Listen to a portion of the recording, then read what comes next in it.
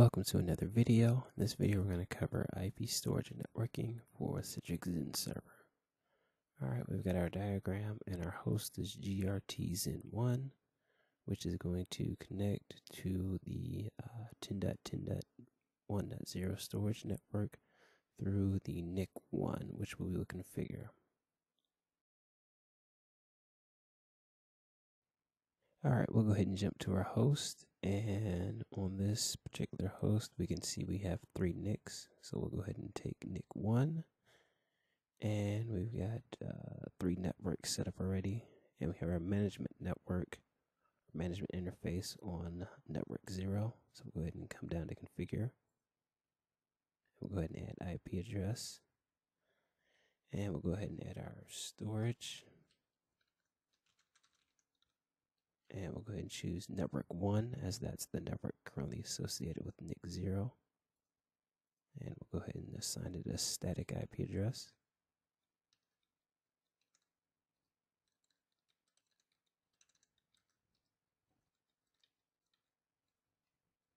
All right, and in the case of uh, storage networking, the storage network needs to be a completely separate IP subnet from the management network uh, in order to really isolate the interface. Uh, when configuring, there's also the tell me more about configuring IP based storage traffic, which will bring up a help file that'll give additional details regarding storage networking. All right, we'll go ahead and click OK.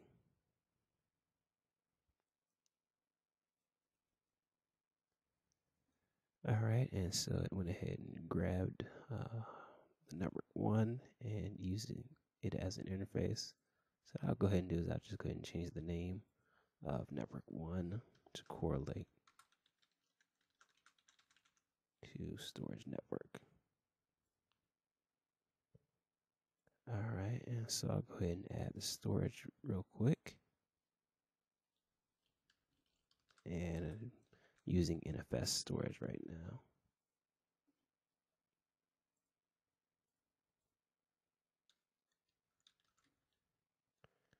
All right, and in this case, our particular storage target will be on the same subnet that we assign the storage uh, interface to.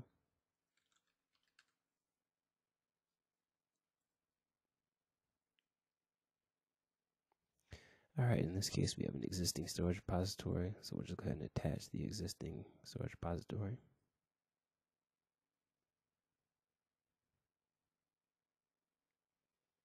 All right, see our storage was successfully attached.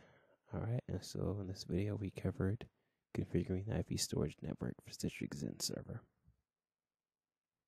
All right, subscribe to the channel for updates. Uh, you can contact me at Twitter as well as find additional content on the website, or you can go ahead and connect with me on LinkedIn.